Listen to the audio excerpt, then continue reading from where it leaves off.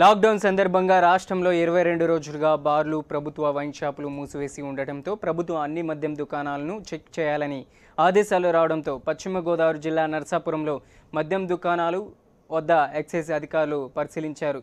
ఇచ్చిన stock sheet పరిశీలించి stock ఉందా లేదా అని చెక్ చేస్తున్నారు. తేడా ఉంటే షాప్ ఓనర్లపై చట్టపరమైన చర్యలు తీసుకుంటామని ఎస్కే ఎక్సైజ్ అధికారులు తెలిపారు. వైట్ రాంది ఐదు ఫుల్స్ ఉంటాయి ఐదు ఫుల్ కేసులు బ్లాక్ బోర్డ్.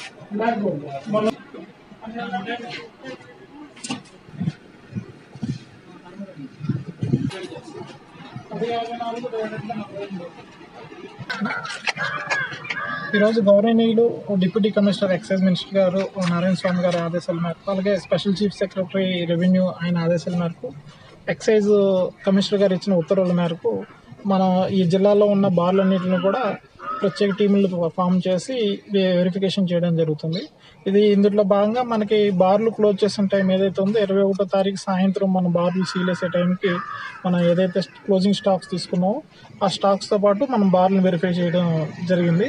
మన ఇక్కడ మా టీంకి వచ్చేటప్పటికి ఇక్కడ నరసాపురంలో ఉన్న ఓరసీ రెస్టారెంట్ బార్ ఇవ్వడం జరిగింది. అలాగే మనం ఇప్పుడు మీ అందరి సమక్షంలోని మీడియా సమక్షంలో మనం స్టాక్ని వెరిఫై చేయడం జరిగింది. ఎటువంటి అవతవకలు జరగలేదు. సో ఇదే విధంగా మనకి గవర్నమెంట్ షాపుల్లో కూడా రానున్న రోజుల్లో డిస్టిక్ కలెక్టర్ గారి దగ్గర నుంచి స్పెషల్ పర్మిషన్ తీసుకొని గవర్నమెంట్ షాపులను కూడా కొన్ని ర్యాండమ్గా కానీ లేదంటే ఉన్న మొత్తం అన్ని షాపులు కూడా చెక్ చేయమని మాకు మౌఖికంగా ఆదేశాలు ఉన్నాయి. కలెక్టర్ గారి దగ్గర నుంచి పర్మిషన్ తీసుకున్న తర్వాత